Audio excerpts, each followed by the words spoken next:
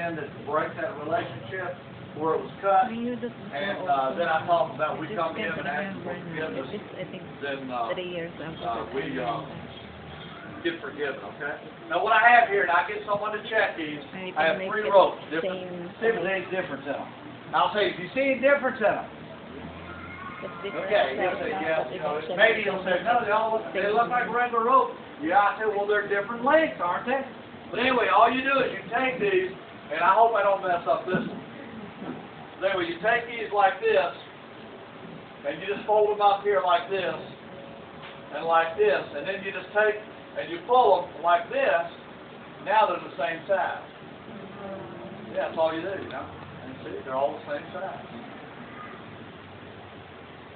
Okay?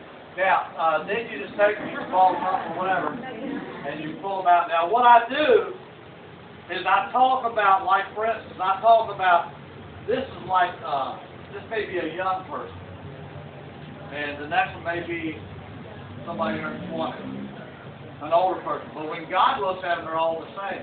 This person can play music. That person can read real well, does well in school. That person uh, maybe is athletic, athletic, you know, plays soccer, football, basketball here. You just talk about whatever. They're different, but in God's eyes, what? There is We're all the same. Okay? So all you do, I hate showing these.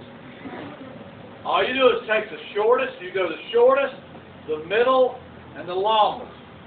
Okay? You take the shortest rope and come around the first two. Okay? The next rope goes up here just like that, and the next one goes up like this. Now you take the first three and pull them, and the knot is hidden. Okay? Now, look, I can take this and hold it just like that.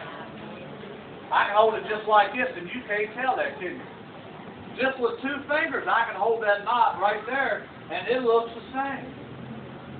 And then all you do is, is when you do that, is you pull out one, and it looks the same. And then you can go like that, and you can pull out the next two, it looks the same. And then you can put them back together, and then you can say, but when God sees, you can put them in a little knot or pull them out however you want to. God sees the same, even though we see people as different.